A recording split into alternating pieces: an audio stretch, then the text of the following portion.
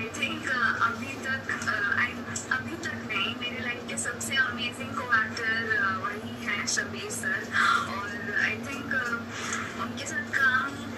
करके मुझे जितना सीखने मिला है, वो शायद मुझे कहीं सीखने नहीं मिला है। मतलब कहीं ना कहीं से मैंने उठाया बहुत है, पर उनके साथ काम करने के टाइम पे मुझे इतना सीखने मिलता है। Every day every every time we do scenes तो कुछ ना कुछ वहाँ से मुझे मिलना ही है, और वो इतने अच्छे हैं लाइक